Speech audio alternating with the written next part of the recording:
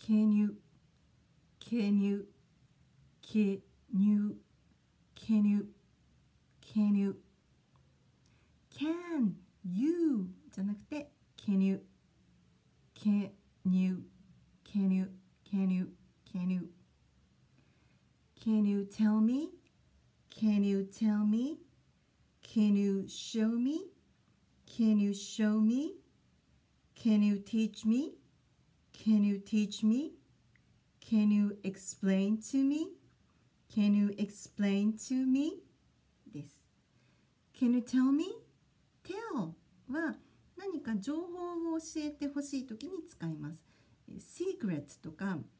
the price 値段とか the way 道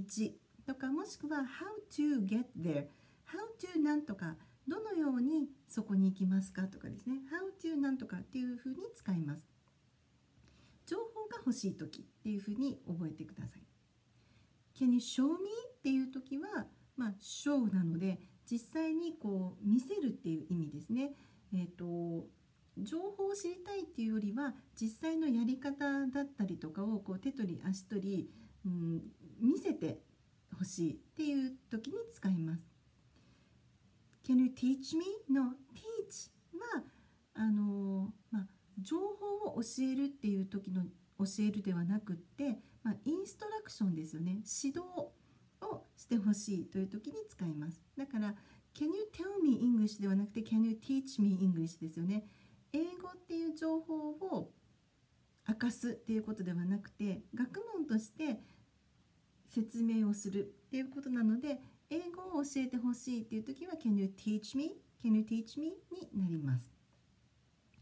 で、え最後の Can you explain to me? の explain は説明するですどちらかというとうんそうですね、まあ、やり方もそうですけれども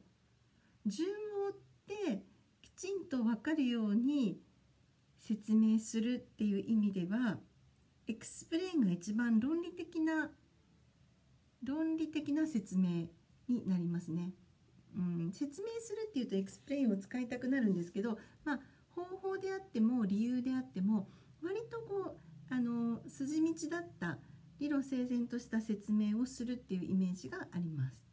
なので教えてくださいの言い方も実際にどういう教え方をしてほしいかによって tell なのか show なのか teach なのか